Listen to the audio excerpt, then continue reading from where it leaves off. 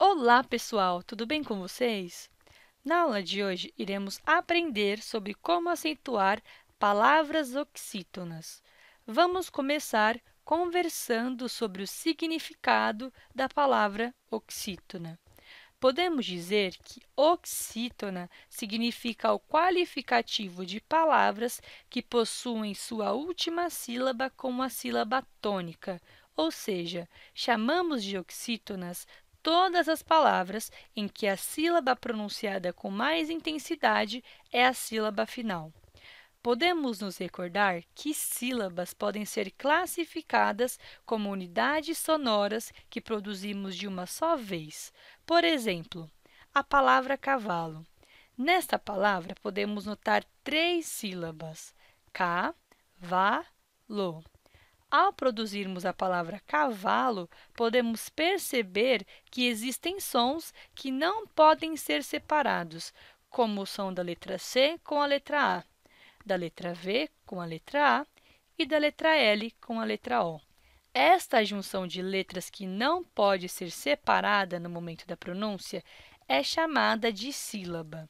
Havendo relembrado sobre o que são sílabas, vamos agora analisar outras palavras, de modo a percebermos a quantidade de sílabas que estas palavras nos apresentam e também qual das sílabas destas palavras se manifesta com maior intensidade. Na palavra pântano, podemos encontrar um total de três sílabas, pan, ta, no.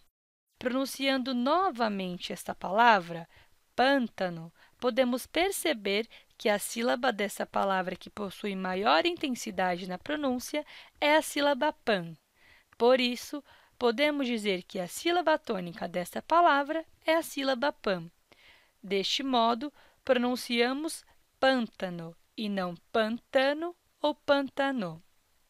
Na palavra janela, podemos também identificar três sílabas, j, né, lá. E nesta palavra, a sílaba tônica é a sílaba né, pois, caso contrário, falaríamos janela ou janelá.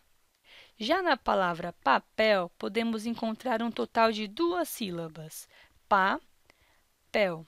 E nesta palavra, a sílaba tônica é a sílaba pel, pois, caso contrário, diríamos papel. A partir destas palavras que estudamos, podemos dizer que a sílaba tônica pode possuir diferentes posições. Ao fazermos a contagem de sílabas, podemos perceber que na palavra pântano, a antepenúltima sílaba é a sílaba tônica. Já na palavra janela, a penúltima sílaba é a sílaba tônica. E na palavra papel, a última sílaba é a sílaba tônica. Estas palavras, que possuem sua última sílaba produzida com maior intensidade, são chamadas de oxítonas. Portanto, a palavra papel é classificada como uma palavra oxítona, assim como as palavras batom, urubu, purê e chapéu. Com base nas quatro palavras que acabamos de ver, podemos perceber que algumas palavras oxítonas devem receber acento gráfico, enquanto que outras não. Como, por exemplo, as palavras batom e urubu, que não precisam de acento gráfico, ao passo que as palavras purê e chapéu devem ser acentuadas. Vamos agora descobrir quando uma palavra oxítona deve receber acento. Iremos acentuar todas as palavras oxítonas que terminarem em a ou as, e ou es e o ou os. Por exemplo, as palavras sofá ou sofás, jacaré, jacarés e cipó, cipós. Palavras terminadas em em ou ens também devem ser acentuadas, como ninguém, porém, parabéns e armazéns. Palavras terminadas em oi ou ois, el ou els e és também devem ser acentuadas, assim como corrói, chapéu e papéis.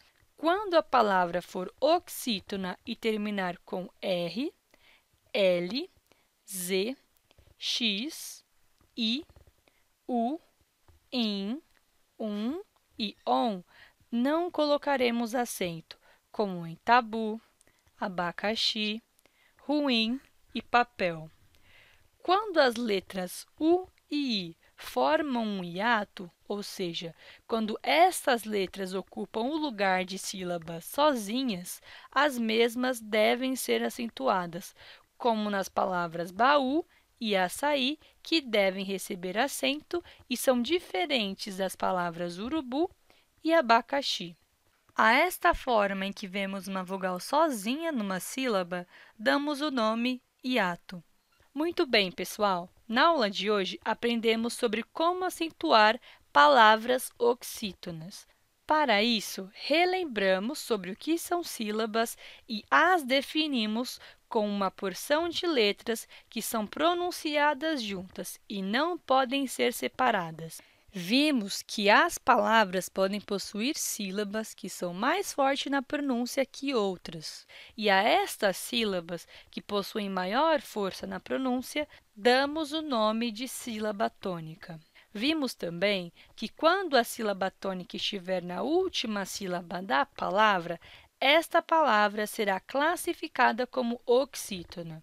Dentro deste tema, vimos que existem algumas palavras oxítonas que devem receber acento, enquanto que outras não. E com isto, aprendemos sobre quando devemos acentuá-las. É muito importante estarmos atentos de modo a percebermos quando devemos ou não acentuar uma palavra oxítona. Não deixem de pesquisar por novas palavras. Ótimos estudos e pesquisas e até a próxima!